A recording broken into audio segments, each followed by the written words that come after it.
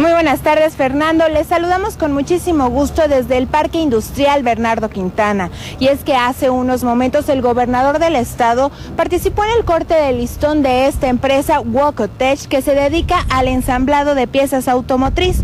Actualmente cuenta con cinco líneas, pero se espera que para el 2016 ya sean 15 líneas de producción de ensamble y montaje. También se espera que genere hasta 600 empleos directos para la región. Esto fue lo que el gobernador en su discurso dirigió a los presentes.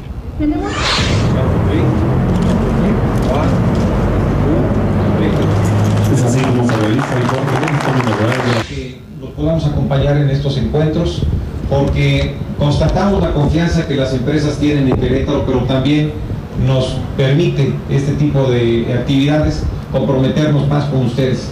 Decirles que aquí estamos para atenderlos, estamos para servirlos y que con las inversiones en infraestructura y también con las inversiones y el compromiso en materia de seguridad vamos a hacer que nuestro Estado siga yendo adelante. Ahí tiene la información, sin embargo es importante señalar que así como este caso, la mayor parte de la industria ha estado pensando en Querétaro como un foco importante para venir a generar empresas y empleos bien remunerados para el Estado. Esto a causa de la seguridad que se vive en el contexto de la ciudad.